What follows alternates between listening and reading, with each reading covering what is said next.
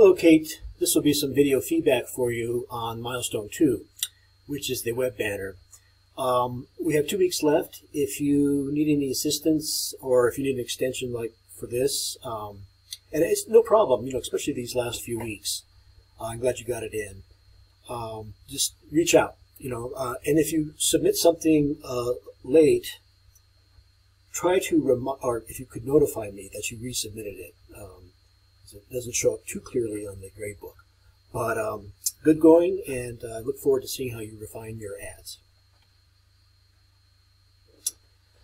Uh, Kate, this um, holds together really well. You know, I, I was wondering how you're going to do the the what is that? What is it? Like a blue Hawaiian or something? It could be any number of things, but very appetizing.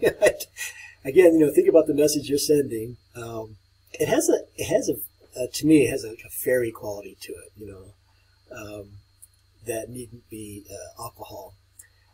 And your typeface um, is, is, that Arial I'm just curious you know no, no need to change it at this late date. Um, but um, okay so now type alignment you know how do you how do you align an asymmetrical logo on top of a line of type or several lines of type and so this, this isn't quite centered visually. You, you want to center, if you're going to center things, you need to center them visually. Think about where the, you know, where the visual uh, middle is. Um, and I, to my eye, I would slide Amethyst Bay logo over to the left a little bit. But, you know, you, you may have different visual sensibilities. Um, you might consider making the Come Sail Away, well, first of all, it should be all be the same size type. And I would um, make type or change the size of type or compress it, God forbid, only as a last resort. So uh, I would use the same size as Book With Us Today on Come Sail Away, or Come, come Sail Away, yes. Uh, they should be the same size, even if it means smaller type. That's really the only uh, suggestion that I could make. Um, the, I like the asymmetrical composition the color adjustments are really wonderful, and it does have a sort of a, um, oh, I don't know, fairy tale quality to it. I'm, I'm thinking kind of like uh, the Labyrinth of Pan or something. Um, nice job, very intriguing. Can you apply the same elements uh, to your print ad?